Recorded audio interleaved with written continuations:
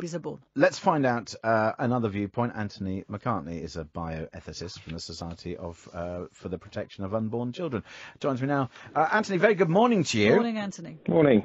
So, what do you make of this story? Do you think that it is a good idea that doctors are investigating the science that could remove hereditary diseases?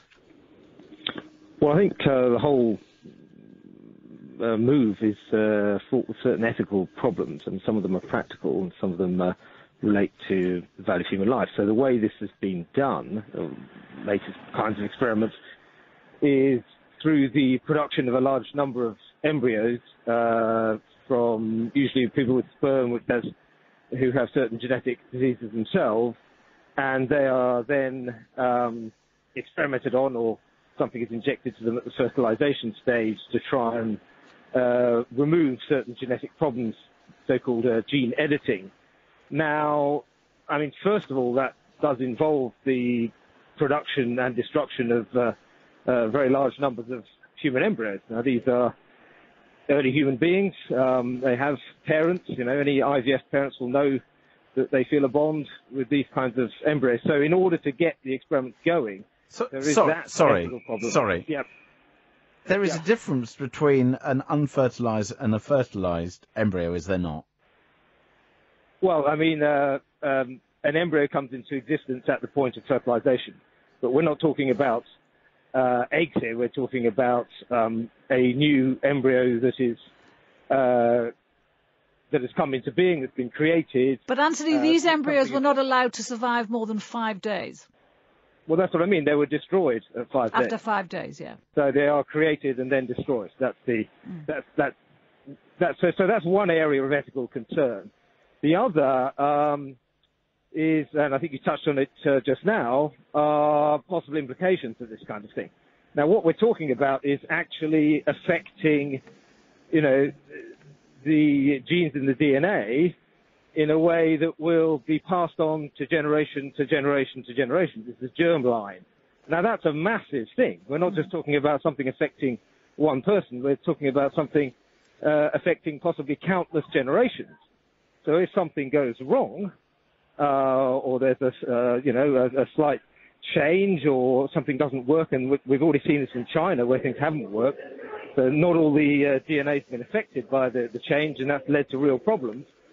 Uh, that could carry on for generation, generation, generation. But science is about experimenting, isn't it? And- And what, what they're saying that this can do is to eradicate diseases like some cancers, like haemophilia, like diabetes. Surely we have to we have to take a chance on that and try and make that happen.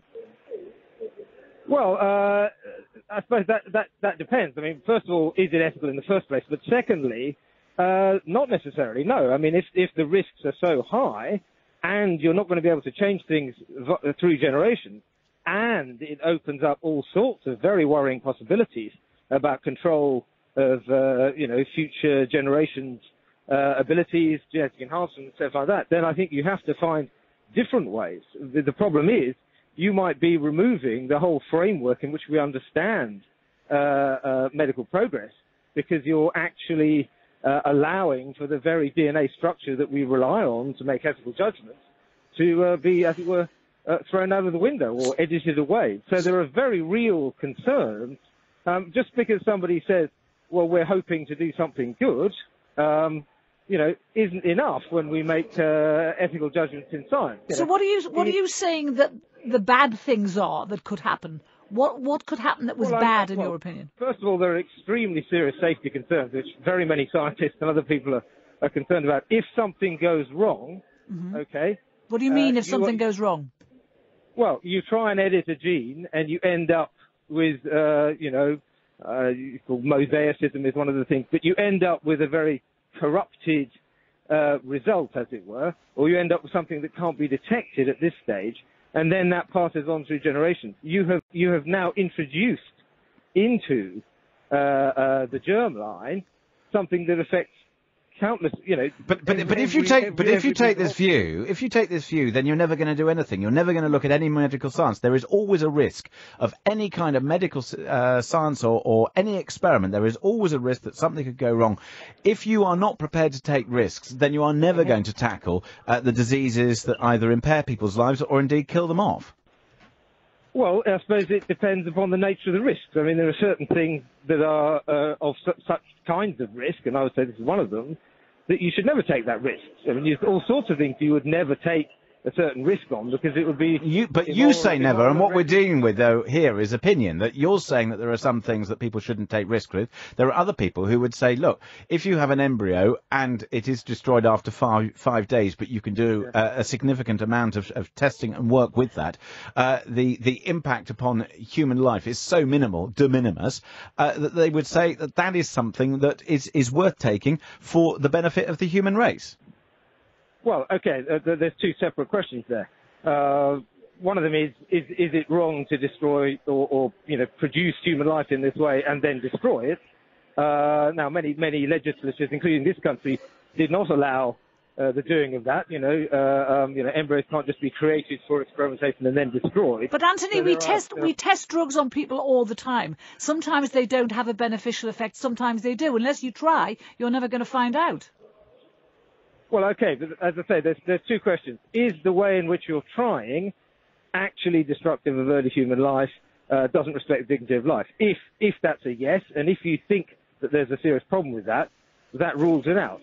Secondly, if the nature of the risk is such that you might be affecting future generations and opening the way to certain kinds of genetic enhancement, which are, have clear moral problems in terms of manipulation of other persons, etc., then it seems to me you have the kind of risk that should that you should say, well, well, no, this is not the way we should approach this.